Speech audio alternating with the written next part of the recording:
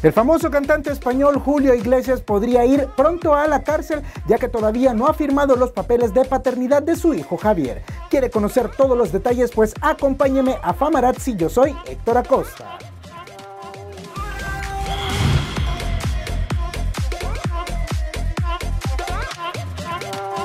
Tras los rumores de que Sarita Sosa había ocupado el dinero de José José para realizarse cirugías plásticas, ella negó totalmente este rumor.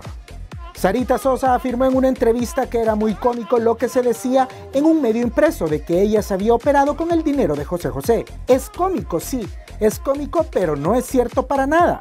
Y al preguntarle cómo van por lo del testamento de su famoso padre, Sarita reaccionó con un ¿por qué preguntan eso? Yo tampoco sé.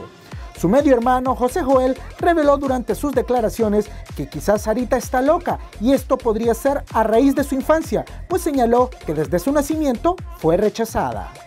La cantante Camila Cabello confesó que se robó algo del Palacio de Kensington. Este lugar es donde vive Kate Middleton con el príncipe William.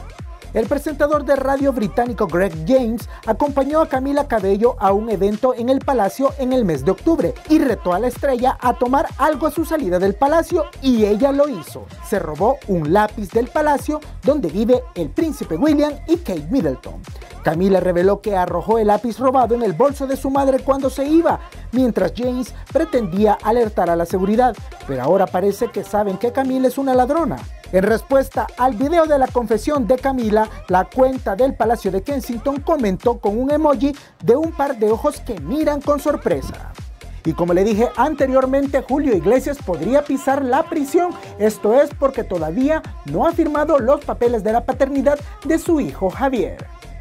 Julio Iglesias no ha querido firmar a pesar de que el juez declarara sentencia de que Javier Sánchez es su hijo, ya que así lo indica el resultado de la prueba de ADN practicada a los dos. El abogado de Iglesias prepara recurrir a una nueva sentencia, pero de momento está obligado a firmar el reconocimiento legal de Sánchez como su hijo legítimo y después asegura que va a tratar de revertir la decisión.